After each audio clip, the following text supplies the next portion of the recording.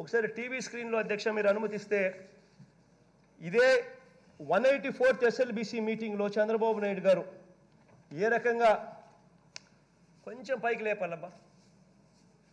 కొంచెం పైకి లేపాలన్నా. ఇది one eighty fourth one eighty fourth SLBC.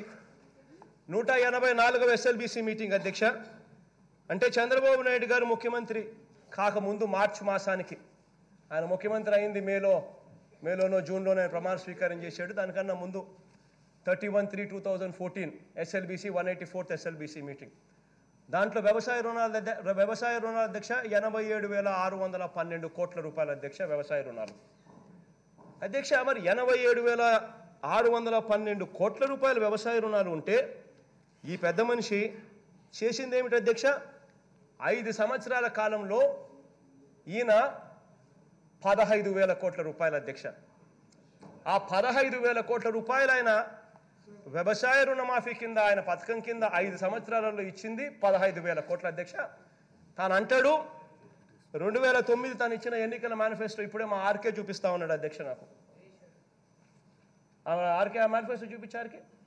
ఒక్కసారి ఇటు ఇచ్చేసేమో నాకు? నా దగ్గరికి వచ్చి ఇచ్చేసరికి రెండు వేల పంతొమ్మిది మేనిఫెస్టో అధ్యక్ష చంద్రబాబు నాయుడు గారి మేనిఫెస్టో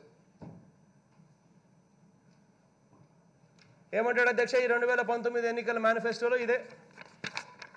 చంద్రబాబు నాయుడు గారి ఎన్నికల మేనిఫెస్టో రెండు వేల పంతొమ్మిది.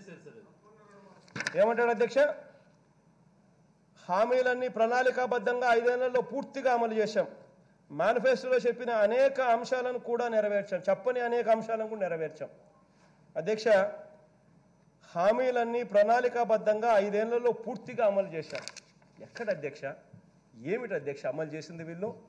పద ప- ఎనభై ఏడు వేల ఆరు వందల పన్నెండు కోట్ల రూపాయల వ్యవసాయ రుణాలుంటే పదహైదు వేల కోట్ల రూపాయలు ఇచ్చామని చెప్పుకుంటా ఉన్నారు. మిగిలిన సొమ్ము ఏమైంది? ఆ రకంగా సున్నా వడ్డీకి సంబంధించిన పదకొండు వేల ఆరు వందల కోట్ల రూపాయలు ఉంటే కేవలం ఆరు వందల కోట్ల రూపాయలు మాత్రమే ఇచ్చి పదకొండు వేల రూపాయలు ఎగరగొట్టిన పరిస్థితులు కనిపిస్తూ ఉంటే సున్నా వడ్డీ పథకం కూడా అమలు చేసేశాము అని చెప్పి చెప్తా ఉన్నారు.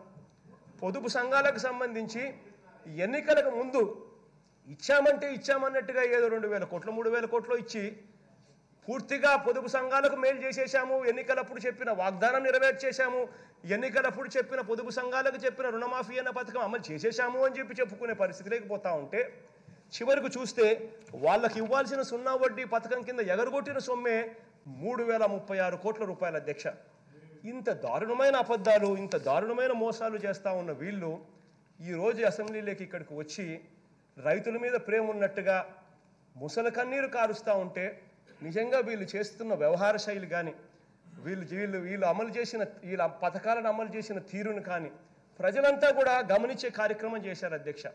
గమనించినారు కాబట్టే వాళ్ళని అక్కడ కూర్చోబెట్టారు అధ్యక్ష. ఇదే వ్యవహార శైలిని వీళ్ళు ప్రదర్శిస్తూ పోతే అధ్యక్ష ఇరవై మూడు ఎన్ని అసెంబ్లీ వచ్చాయి అధ్యక్ష? రేపు ఎలక్షన్లు వచ్చేసరికి ఇరవై మూడు కాస్త పదమూడు స్థాయిలోకి పడిపోయే పరిస్థితి కూడా త్వరలోనే ఉంది అధ్యక్ష అని ఖచ్చితంగా నేను చెప్తా ఉన్నా అధ్యక్ష. అధ్యక్ష ఇంతటి దారుణంగా వీళ్ళు ఈ మాదిరిగా చేస్తూ ఉంటే వీళ్ళు మాట్లాడే మాటలు ఏంటి అధ్యక్ష? చంద్రబాబు నాయుడు గారు ఇంత దారుణంగా పథకాలను అమలు చేస్తున్నాడు అని చెప్పి మనం మేము చెప్తే ఇంత దారుణంగా నువ్వు పథకాలు అమలు చేస్తూ ఉన్నారు కాబట్టి